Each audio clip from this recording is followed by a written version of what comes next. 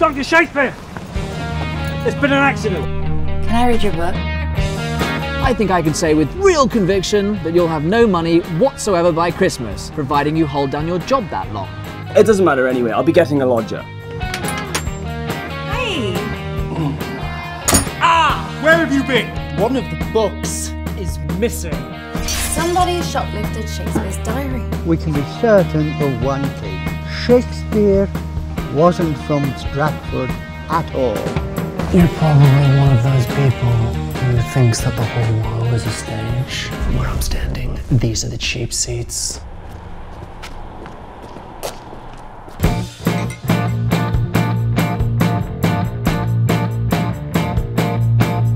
What was it this time? Did we find Shakespeare's sex tapes down a well? It's a long story. yeah, yeah, is it? Just, just go from the top.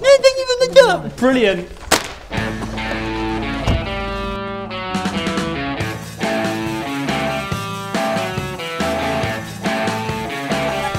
What is wrong with you? Well, we're about to find out if they're right, aren't we? From where I'm sat, it looked like you were deprived as a child.